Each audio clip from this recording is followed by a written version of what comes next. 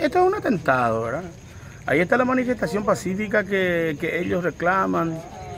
Esta gente no quiere absolutamente conversar.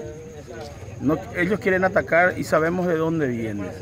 Yo le quiero decir nomás a la teleaudiencia de Canal 40 y te agradezco, Miriam, que con pruebas puedas mostrarle a la gente. Rompieron mis ventanas, rompieron mis ventanas, eh, rompieron mi blindex, rompieron mi blindex, mi sala podés ver, este, mi sala, ahí está un- una tele que me prácticamente, ahí está todo esto.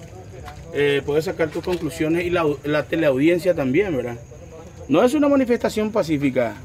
Es más, nosotros ya habíamos conversado con, este, entre, entre todos los concejales de hacer este eh, martes, ¿verdad? Eh, varias solicitudes al señor intendente municipal y, y bueno, eh, tenemos eso, esa opción que vamos a hacerla. Y, y bueno, a mí no me molesta esto. No me molesta en absoluto. Pueden venir, pueden romper todo lo que quieran. ¿Saben por qué? Porque yo tengo fortalecido, eh, estoy fortalecido de espíritu y esto a mí no me hace daño. Todo el odio, todo el rencor, rencor, todo el resentimiento está aquí. Y le agradezco. Mi casa es una casa del Señor. Toda la basura que tienen en su corazón vinieron a tirarme aquí y bueno, yo estoy fortalecido y le agradezco al Señor lo que pasó hoy.